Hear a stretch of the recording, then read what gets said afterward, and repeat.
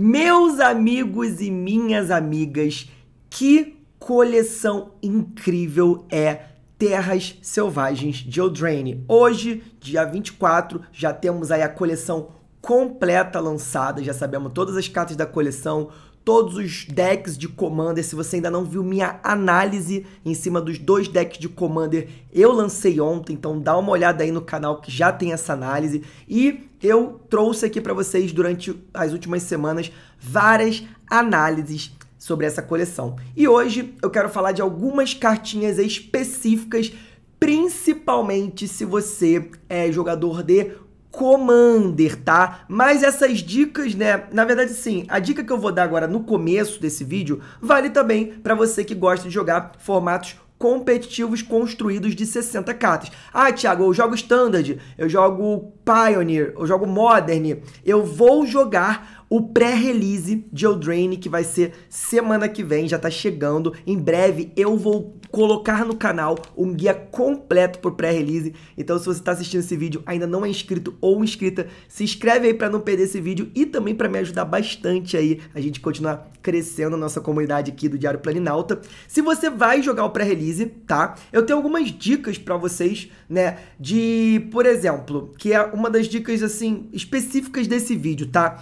Que é a questão de você passar as cartas para frente. O que, que é passar? É você trocar, vender, etc e tal. Se você quer algumas cartas dessa coleção já. Eu já quero algumas cartas dessa coleção. Eu, obviamente, tirando além das cartas da Magali Villeneuve que eu faço coleção e sempre tento pegar logo no pré-release para não não dar tempo delas subirem muito de preço. E olha que as duas duas cartas que eu quero estão bem caras. Uma tá 70 e eu gostei muito dessa carta. É, estou torcendo para ter é, ela ser boa em um deck do standard. Obviamente não vou montar esse deck no físico, vou jogar no arena. Vou testar bastante esse deck no arena para ver se realmente esse deck é legal legal. É, e tem a Rowan, que eu também não sei se vai ver jogo ainda, e ela também tá mais de 50 reais. São duas cartas para minha coleção que eu já tô aí meio desesperado, porque elas já estão bem carinhas. Espero que elas baixem um pouco de preço, né? Mas tem várias outras que, olhando para Commander, por exemplo, outras, uh, outras cartas que, do tipo é, cartas de terreno. É, então, assim, eu não acho tão legal abrir terreno no pré-release, sendo raro, né, obviamente porque normalmente o terreno não é uma carta muito impactante. E no lugar da rara, é, eu prefiro abrir uma bomba ou uma remoção boa, né? Que né, ajuda a ganhar mais jogos. Mas esses terrenos estão bem ok para ajudar, ajudar no pré-release também, tá? Porque já que eles viram criaturas. Só que por que, que eu particularmente não gosto de trocar terrenos quando eu abro eles no meu pré-release, mesmo não gostando de abrir eles no pré-release.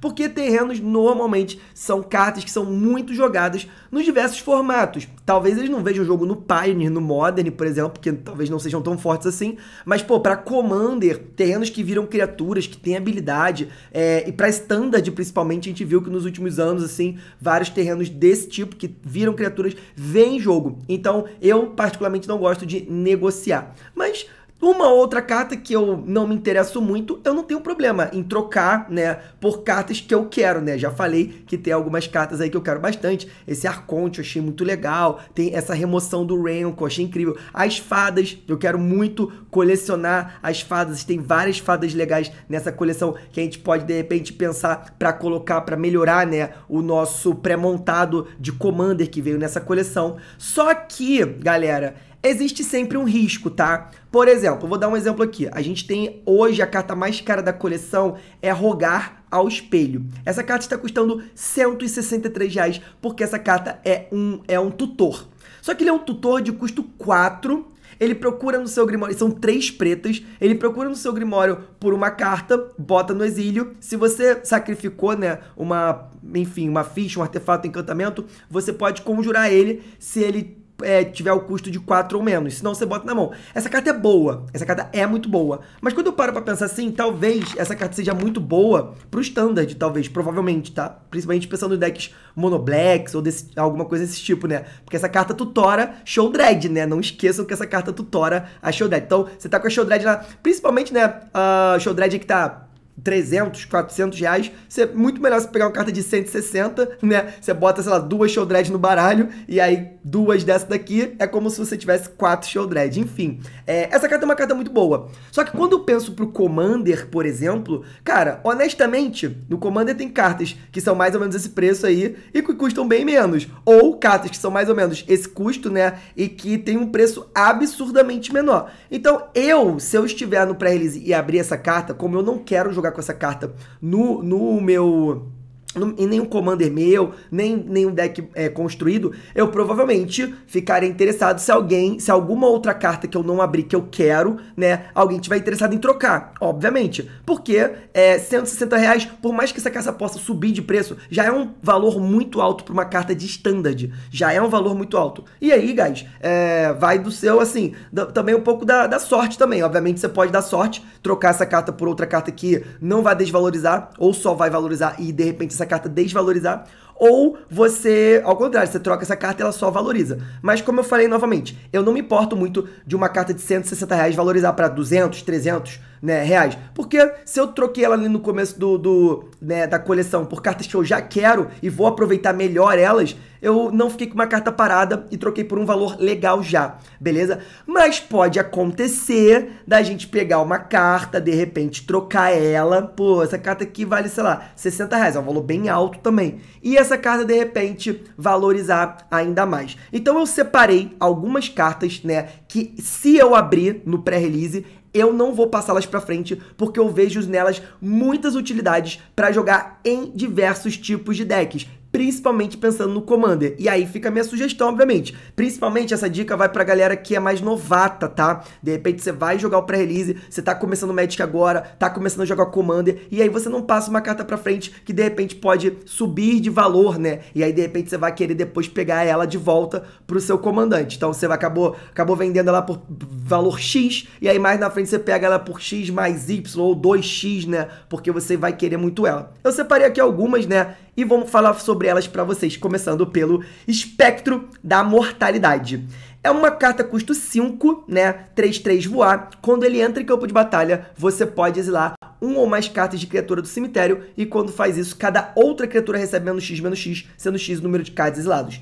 É óbvio que essa carta é uma carta. É, é, ela depende de você ter outras criaturas no deck, depende do seu deck ser um deck de criaturas, mas querendo ou não, é, para decks pretos no Commander, é, isso é uma global. Ela me lembra muito uma outra carta que jogou bastante, né, no T2 e joga também, eu vejo bastante deck de Commander, que é a Garota Massacre, que quando entra em campo de batalha, ela dá mais, menos um, menos um para as criaturas, se alguma criatura morrer, repete isso, e aí vai repetindo, normalmente ela causa, né, um grande é, é, impacto na mesa, removendo todas as criaturas, se tiver uma criatura de custo, né, uma criatura 1 barra 1, ela já faz um verdadeiro massacre, como o nome diz. Por isso, o Espectro hoje, ele tá saindo aqui, ó, 10 reais, é uma carta muito barata. Então, honestamente, você, eu não acho que você passar essa carta para frente por 10 reais, você tá, vai estar tá fazendo um grande negócio. Eu prefiro ter essa carta na minha coleção por 10 reais. Talvez ela valorize mais para frente, aí se eu não usar, aí sim faço uma troca melhor. Mas assim, eu iria me arrepender bastante se eu trocar essa carta por 10 reais e mais à frente eu quisesse pegar ela de volta por, e ela tivesse 20, 30, 40.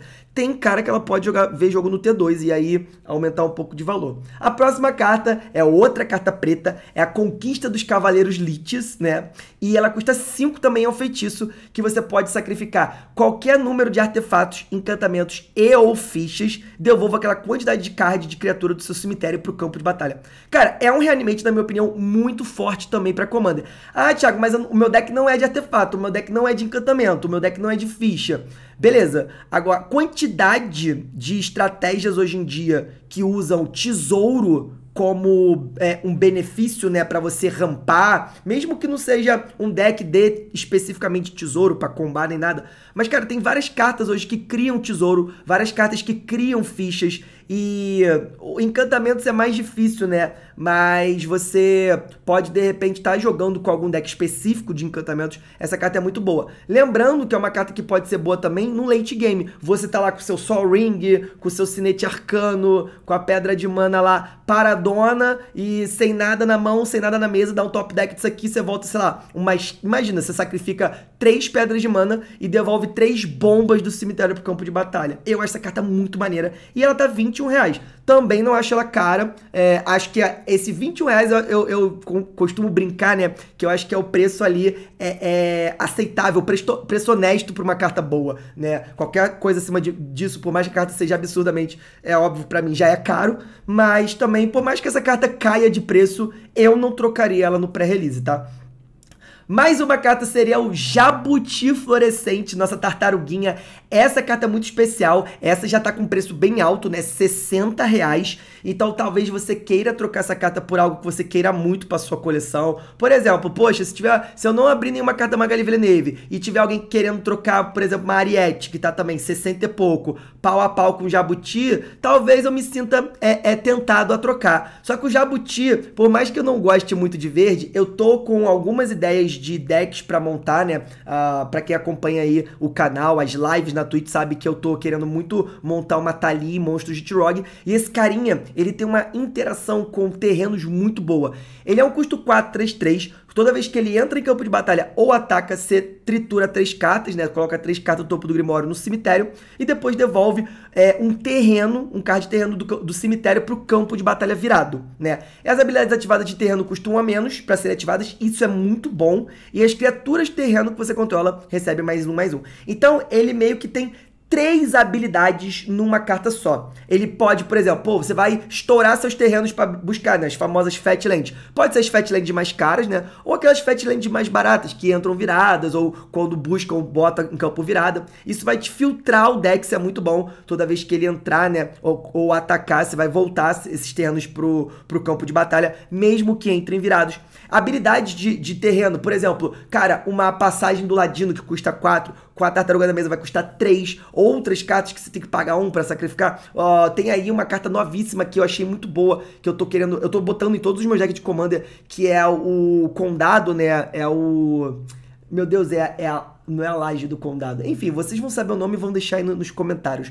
É o condado, né? Que você paga um, vira, sacrifica, busca um terreno e bota na mesa. Você simplesmente não precisa pagar um, você, você, sacrifica ele né, por zero. E ele ainda tem o upside, que se você estiver jogando com os terrenos que viram criaturas, ou alguma mágica permanente, habilidade de alguma carta sua, que podem transformar seus terrenos em criatura, ele ainda vai dar mais um, mais um. Eu acho que é um, é um flavorzinho extra ali. Mas para mim é uma carta que tem o potencial de ficar mais cara, porque é uma carta que joga em muitas estratégias de decks que, cara, é, com ela vão ficar muito poderosos, né? Então eu ficaria de olho, eu não, não trocaria essa carta no meu pré-release. Passando pra frente, tem uma aqui que eu adorei. A gente tem um ciclo de encantamentos Todos eles estão muito caros, pelo menos a maioria está muito cara, porque são encantamentos muito bons, que eu acredito que tem potencial, inclusive, de ver jogo no T2 também, no Standard. Só que para Commander, eles são maravilhosos, porque todos eles vão ter, vão ser encantamentos, né, com seus custos ali altos, entre aspas, mas todos eles vão ter uma aventura de custo baixo. Então você pode conjurar isso no começo do jogo ali, e depois conjurar pelo preço normal é, dela, pelo custo normal, para ela entrar em jogo e fazer sua habilidade. Essa virtude da lealdade, por exemplo, você paga 2, cria uma ficha de cavaleiro 2-2 com vigilância.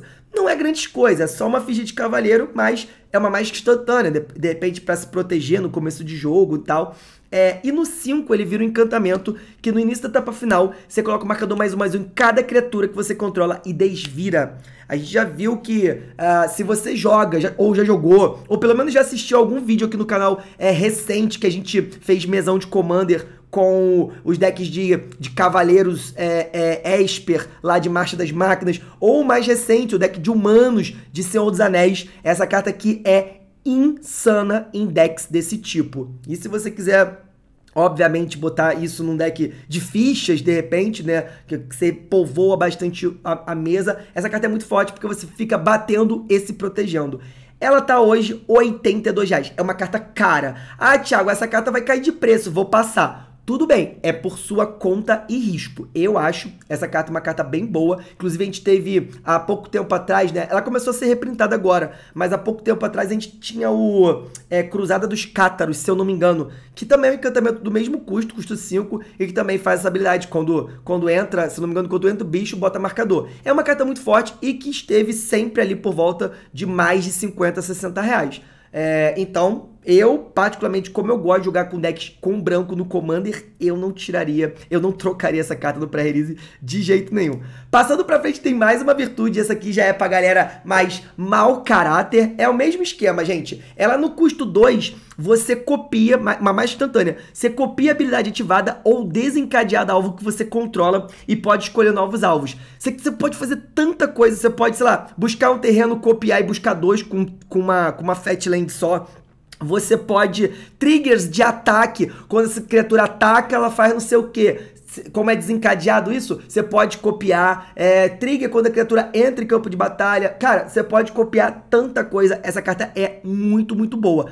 Só que ainda por cima, ela é um encantamento de custo 5 que diz que se a entrada de uma permanente no campo de batalha desencadear uma habilidade desencade... desencadeada de uma permanente que você controla, essa habilidade desencadeia uma vez adicional. Gente, isso aqui é tipo um panarmônico. Só que, se eu não me engano, acho que o panarmônico só vale para criaturas e artefatos, se eu não me engano. Não tenho certeza.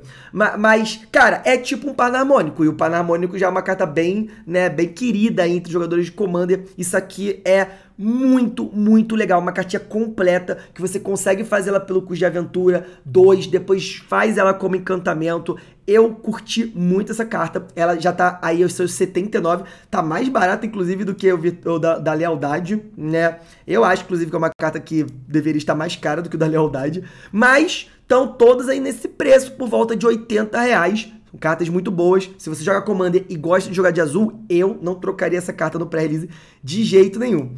Passando pra frente, temos uma que foi muito falada. Essa que para mim talvez seja a carta que mais tem potencial de ver jogos em outros formatos, além do Standard do Commander. No Standard, provavelmente ela vai ver jogo. Eu acho que a galera vai tentar fazer essa carta ver jogo. No Commander, obviamente, ela pode jogar em qualquer deck, afinal de contas é uma carta incolor. E ela tem o potencial de ver jogos no Modern talvez no Legacy, dado a sua habilidade, né? Ela é um grave hate, ou seja, você consegue exilar coisas do cemitério dos oponentes, e a gente sabe que isso é, no Magic é muitos decks usam o cemitério como recurso. Você faz o seguinte, ó, você pode gastar mana como se fosse de qualquer cor para ativar habilidades das criaturas que você controla. E as criaturas que você controla com marcadores mais um mais um têm todas as habilidades ativadas de todos os cards criatura exilados com caldeirão. E você vira o caldeirão, exila o card alvo, não é a criatura, é o card alvo de um cemitério. E quando o card de criatura for exilado dessa forma, você coloca o marcador mais um mais um na criatura alvo que você controla. Essa carta está 133 reais. Eu não duvido que essa carta suba de preço. Eu não duvido, tá? Eu não duvido. A gente teve recentemente aí o grande boom do Um Anel, né? Que, cara, quebrou aí o, o metagame do Modern, etc e tal. É, essa carta não tem o teor colecionista tão grande igual Um Anel. É, então acho que a questão da procura por ela, né, pelos colecionistas não vai ser grande, é, mas acho que a possibilidade de, de jogo, de metagame é, dessa carta é muito alta. Se você joga Commander, se você joga Pioneer, se você quer jogar T2 ou joga T2, eu não, não passaria essa carta de jeito nenhum, porque ela vai ser aí provavelmente uma staple aí de alguns formatos. É isso. Por último aqui, cara, não tem como falar dessa obscenidade, obscenidade, que é a cavalaria sacode lua. Você já ouviu falar no Kraterhulf Behemoth? Já ouviu falar? Eu esqueci o nome dele em português. Mas enfim, muita gente chama ele de baleia, o que eu acho um absurdo. Um absurdo você chamar um, um sapão boladão. Parece até que foi o Jiraiya que sumonou aquele sapo bolado. E você chama aquilo de baleia. Pô, eu acho um absurdo. Se você concorda comigo, deixa nos comentários. Cavalaria basicamente é um Kraterhulf Behemoth pro branco, tá? É uma carta mítica que custa 8 manas, tá? 5 qualquer e 3 brancas. Voar quando entra em campo de batalha, as criaturas que você controla ganham voar e recebem mais X mais X, sendo X o número de criaturas que você controla. Cara, eu não sei se essa carta vai ver jogo no T2, tá? Eu não sei se vai ver jogo em outros formatos, porque na época que o Craterhoof foi lançado, eu não estava jogando Magic, né? Não jogava Magic, não conhecia formatos, etc e tal. É... Agora, essa carta no, no Commander, cara, é um finisher absurdo. Se Craterhoof Behemoth joga tanto, é tão desejada. A, a, a, grande verdade, gente, é que Crater Roof, ele só não é tão mais jogado porque, além dele ser muito caro, existem muitas alternativas budget, ou seja, mais baratas do que o Crater Roof, que faz habilidades parecidas. Não tão boas, mas parecidas. No branco, não existe. Não existe. Cavalaria Sacode Lua é one of a kind. Meti até o. Parecia agora até aquele cara lá que. O, o do Fake Neri, né? It's natural ou it's fake Neri. Eu já tenho meu veredito, rapaziada. Cavalaria Sacode Lua. It's natural. Congratulations. Exatamente, cara. Então, assim, eu acho, tá? Se Craterhoof Behemoth é uma carta de mais de 150 reais. E ela tem várias alternativas para ela, vários prints, vários reprints, várias alternativas para ela budget. E ela continua sendo uma carta cara, imagina a cavalaria que acabou de sair e não tem alternativa. Se eu abrir essa carta, eu vou ficar muito feliz que eu já sei qual deck ela vai entrar no meu deck de Commander. Tiver, tá curioso? Tá curiosa para saber qual deck eu vou botar? Pergunta aí nos comentários que eu te respondo qual deck eu vou colocar ela. Se eu abrir, cara, eu não passo ela de jeito nenhum. Agora conta pra mim, qual a carta ou quais as cartas. Pode fazer um top 3 cartas se você quiser. Se você abrir no pré-release, você não vai passar de jeito nenhum. Seja porque vai para sua coleção, vai para seu commander ou porque você acha que vai valorizar ainda mais. Tá hypado? Tá hypada? Tão animados com essa coleção nova? Eu também tô muito. Vem muito conteúdo ainda de Eldraine por aí, então não deixa de se inscrever no canal para não perder esse conteúdo. E obviamente, se vocês estão curtindo os conteúdos de Eldraine, curtiu esse conteúdo aqui, deixa o likezão, me ajuda muito, vocês são maravilhosos. Beijo no coração de todos e até o próximo conteúdo. Valeu!